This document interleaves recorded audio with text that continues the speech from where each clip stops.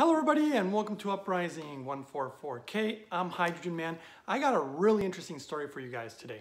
So somebody messaged me. This person's actually a physician, which is kind of funny because I've been noticing a pattern throughout the years.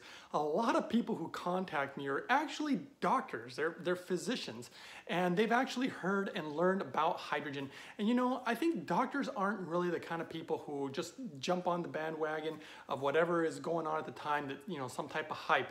They usually are very scientific people. And that's one interesting thing. Obviously, there's a lot of science about hydrogen and it's starting to look like a lot of doctors are learning about it and you know i get contacted by them periodically for different reasons and today i have a really interesting story this gentleman actually had a condition called peyronie's disease apparently it's like a fibrous scar tissue that happens within the penis and it causes like indentations and curvature and sometimes problems with like ED, like erectile dysfunction, uh, pain during intercourse, uh, you know, and these type of problems. And you know, it can cause a lot of like psychological stress or depression, which apparently was happening to this gentleman also.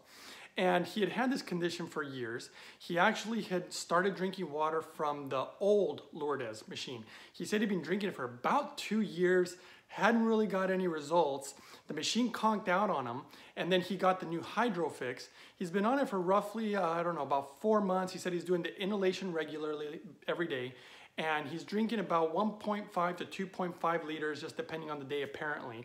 But the reason he messaged me was because he said he's had over 90% improvement. He says the condition's almost gone.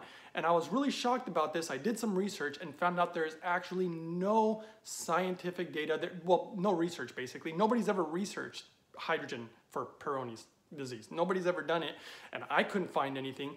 But he wanted to message me and tell me because he was actually super excited about it because he hadn't really gotten any results from many other things, even before the Lourdes, as he said he tried the hydrogen pills for a while.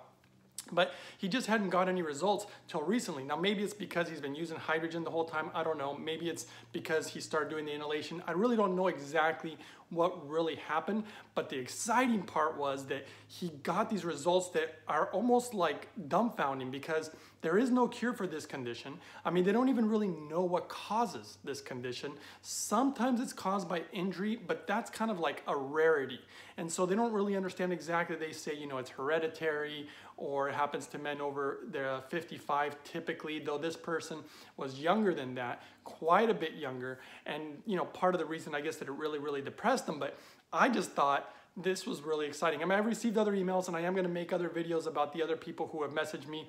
You know, if you're out there watching the video, I will get to that, but this one was just something that was so big. I thought, wow, I mean, Peyronie's disease, I mean, to have some improvement. Now, granted, we don't really know if it was the hydrogen, but the fact that he got, you know, the results that he got, and of course it happened in a, you know, I guess it's a little coincidence that it happened during the period of time that he recently got on the new water and the new inhalation.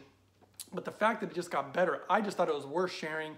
I'm sure that most people out there don't have this condition who are probably watching my videos, so it's probably not gonna be incredibly helpful to anybody out there, but I just wanted to share because even I was excited about it. I was like, wow, this is really cool. And especially when there was no scientific evidence out there because I couldn't find anything. I mean, I could find out about the condition and whatnot, but I couldn't find, you know, anything as far as research of hydrogen for this particular condition. So I hope you guys found it helpful or interesting. I mean, share it, you know, with others if you think that somebody out there will find it a benefit. If you've never watched one of, one of my videos, don't forget to subscribe and I'll always be sharing anything that comes up, whether it's health related, hydrogen related, and just, you know, all sorts of different things.